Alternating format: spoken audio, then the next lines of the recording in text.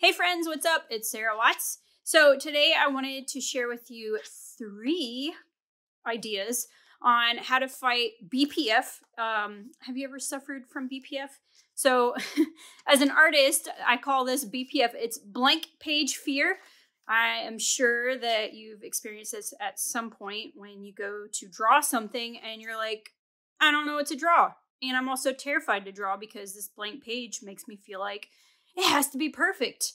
Um, so I have three ways to fight BPF for artists. And one of them is to actually paint little, you know, seeds or treasures in your sketchbook for you to find later. Um, so basically, just little blobs of color, or you know, if you find something while you're walking and you want to paste that into your sketchbook, or if it's just like a simple swatch of color for the entire background of the spread. But what it does is it makes it to where you get to a page and it's already been worked on a little bit. So it kind of takes that initial fear of like, oh my gosh, a blank page, I don't know what to draw, because it's already started. So you just get to collaborate with your old self and make a really cool illustration or, you know, quick sketch out of something you've already put there. So I just wanted to show you a couple of examples of that. Um, this one my daughter drew. I'm going to have to turn that into something. But one day I was painting this cat and I just put a bunch of cat shaped blobs in my sketchbook so that I could, you know, come back to them later when they dry. And this was one of the blobs that I made in this sketchbook and I just turned it into a cat when I got to this page and it was fun. Um, another example of that is this spread. Let's see if I can find it. This one here. So I had the prompt to draw a violinist, but I didn't know like what I wanted to do. So I'm flipping through my sketchbook and I see this uh, backdrop. This is from an like a vintage embroidery uh, pattern.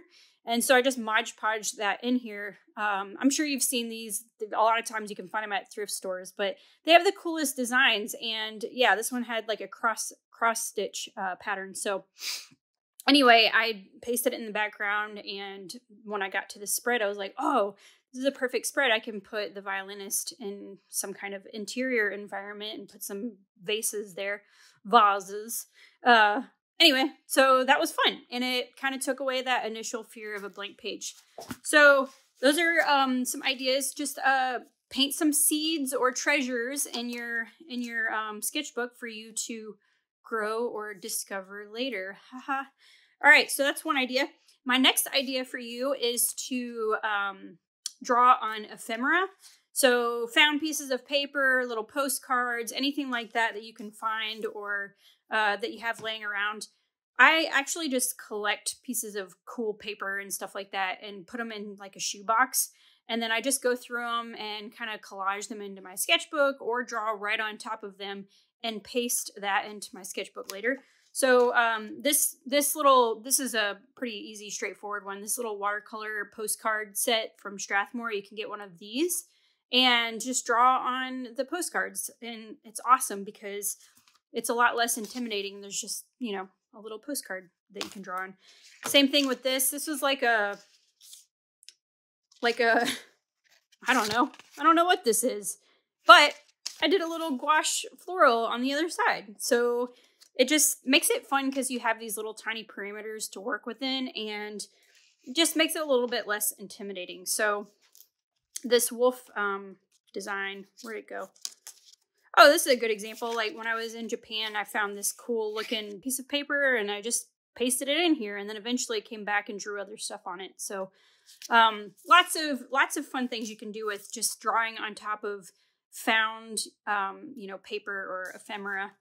And then my last idea is to give yourself prompts. Now I do I I do this. I have a sketchbook uh, a daily prompt thing that you could follow. It's called Sketchbook Squad. It's on Instagram and basically I provide a daily prompt uh, photo reference for artists to draw from. And it's awesome because a lot of times when you go to draw, you basically sit there and you're like, uh, I don't know what to draw. Or if you get one of those word prompts and it's like, okay, the prompt is snow, but I could do a thousand different things with the prompt snow, right? So anyway, I thought, oh, well, let's just all draw from the same photo reference. So uh, basically, I provide a photo reference with permission from the source. And people are all drawing from the same reference and it's so cool to see what everybody comes up with from that one reference. The interpretations are so different and so unique and it's been a blast to draw draw these with everyone. So again that's sketchbook squad. You can check out my uh, sketchbook squad website. We have a paid part of the membership as well. But if you just want the free prompts you can just follow me on instagram and get them in my stories daily or in my posts. And you can also uh, join my newsletter, and I have them in there a week ahead of time so you can kind of plan out your drawings ahead if you want to. Um, so that's another one. And whenever you have some kind of, you know, reference to draw from, you don't have to think about it. It's just like literally, this is what you're drawing today. And it's a nice way to fill up a page that is, you know, pristine and perfect because you have something to tell you what to draw. Um, so anyway, those are my three ideas. Uh, one is to you know plant little treasures throughout your sketchbook for you to come back to later and, and paint or draw with. Uh, the next one is to draw on top of found pieces of paper or ephemera. And then the last one is to give yourself prompts or, you know, use one of the daily prompt uh, challenges that you see online, including my own, which is Sketchbook Squad. So hopefully those help you to fight BPF or blank page fear as an artist. And I can't wait to see what you make. Happy sketchbooking. All right. See you later.